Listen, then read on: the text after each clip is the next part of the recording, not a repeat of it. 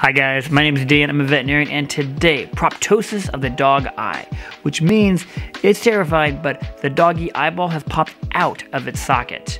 I will go over why this happens, what you need to do as a pet owner if you notice this happen to your doggy, and as a veterinarian, how I fix an eyeball like this.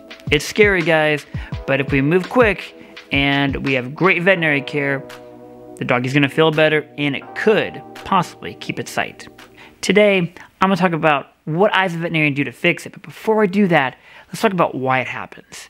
It happens because some doggies have really big eyes and really shallow eye sockets.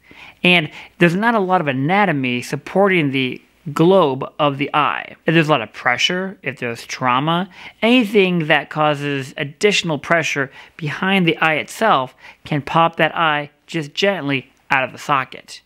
Now, a lot of times I see these cases a dog falls or gets in a dog fight or gets really nervous and it's held too tight.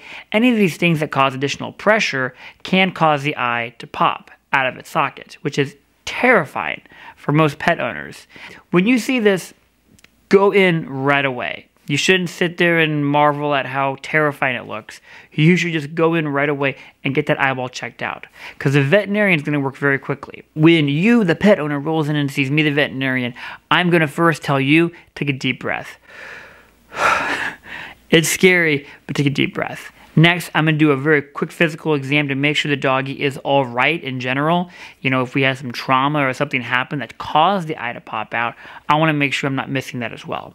Once I'm like, good, yes, the dog looks great, then I will fix the eye. What I tend to do, what most veterinarians tend to do, we'll give some kind of sedative to allow us to work because the dog's uncomfortable.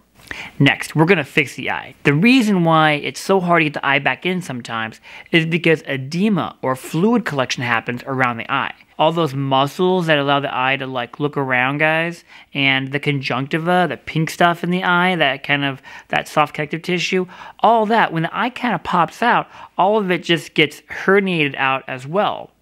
And all of that sliding out and then it gets trapped by the eyelids. So the eyelids are like, oh my gosh, this is all supposed to be in the eye, and now it's outside the eye.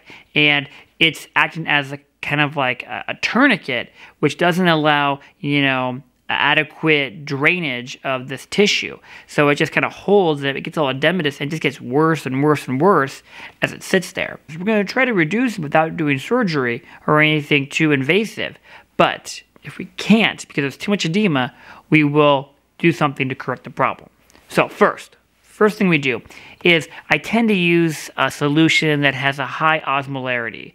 What that means is basically it could be like a fancy like sugar solution. And I put that on the eye and sometimes the, all those molecules in there in that solution helps to suck out the edema or the fluid in the connective tissue, the muscles, the conjunctiva of the eye. As it pulls it all out and it dries it out, the eye sometimes can just slide back in to where it should be in its socket. Now, that's like best case scenario. You feel like a rock star, you're like living on cloud nine. But a lot of times it doesn't work. What we'll do in most cases is we'll make a little cut to extend the eyelids. The problem is, guys, when everything kind of herniates out, the eyelids trap everything, uh, and then you have fluid collection and edema, and it swells, and it's it's like you're trying to push all this back in, but you have more than what you had before, right? Because it's all full of fluid. So you need a bigger eyelid. We'll extend the lateral canthus a little bit. And by extending it, that allows me to open the eyelid up bigger so I can push everything back in. Once everything's back in, we will moisturize the eye, we will medicate the eye, we'll check for an ulcer. We want to make sure the eye is as healthy as possible. Now, guys, once we're all done, we're going to suture that eyelid closed so the eye can heal without having to be exposed to the outside world. It's going to sit in the socket, and everything is going to hopefully help it to normalize the edema to completely empty out. And if there's any trauma to the eye, give it time to heal. Once it's healed, in a couple to a few weeks, we will open that up and we'll look at the eye and make sure it's doing okay. I know the question everyone's asking now is Dan, is that eye going to be visual? Can my doggy still see? It depends on how much damage there is. If the eyeball, you know, pops out and it damages a whole bunch of the the uh, the muscles of the eye, or if it damages the optic nerve, uh, you know, all these things play a big factor. Or if you get any bleeding or hemorrhage behind the eye or in the eye the eye itself, all of these will play a factor. Now, the only thing we can do, guys, is we can reduce the eye back into its socket.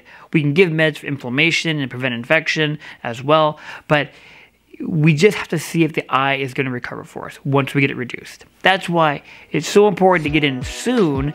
That way, if there is, you know, trauma and inflammation that is brewing and growing, hopefully we can help slow it down or reduce the severity of it by reducing the eye as quickly as possible. As always, guys, I hope this content was really helpful. I know proptosis eyeballs are incredibly scary.